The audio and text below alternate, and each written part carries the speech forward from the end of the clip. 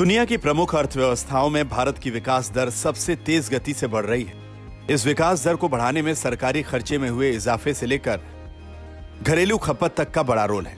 तरक्की की इस रफ्तार में कारोबार जगत का भी बेहद महत्वपूर्ण रोल है। खास बात यह कि बड़ी कंपनियों के मुकाबले छोटी कंपनियों का प्रदर्शन अर्थव्यवस्था को ज़्यादा हैरान कर रहा है। आंकड़ों के मुताबिक, पिछले एक साल में छोटी और मझोली कंपनियों के शेयरों ने 60 फ़ीसदी का रिटर्न दिया है।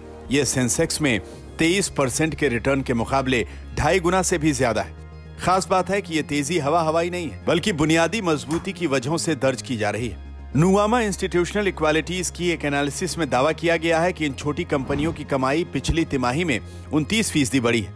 ये बड़ी कंपनियों की विकास दर से करीब दो गुनी है।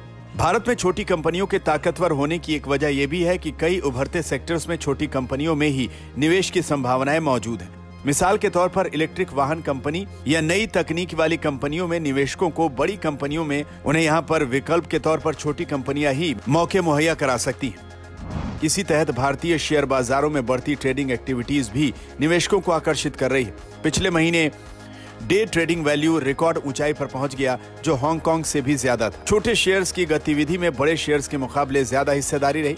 विदेशी निवेशकों को वो बाज़ार ज़्यादा लुभाते हैं, जहाँ पर लिक्विडिटी में कमी नहीं होती। भारतीय शेयर बाज़ार के शानदार प्रदर्शन ने कई और शेयर्स को इस मापदंड के दायरे में ला दिया है। विदेशी निवेशकों की, भारत की बड़ी कंपनियों में तो पहले ही हिस्सेदारी है, लेकिन अब छोटी कंपनियों में भी उनकी मौजूदगी बढ़ रही है। आईसीआईसीआई सिक्योरिटीज के मुताबिक, भारत के मिड कैप शेयर्स में विदेशी निवेश एक साल पहले के 14 फ़ीसदी से बढ़कर दिसंबर तक 17 फ़ीसदी हो गया है। इसी तरह, स्मॉल कैप शेयर्स में उनकी हिस्सेदारी 8 परसेंट से बढ़कर 9 परसेंट हो गई।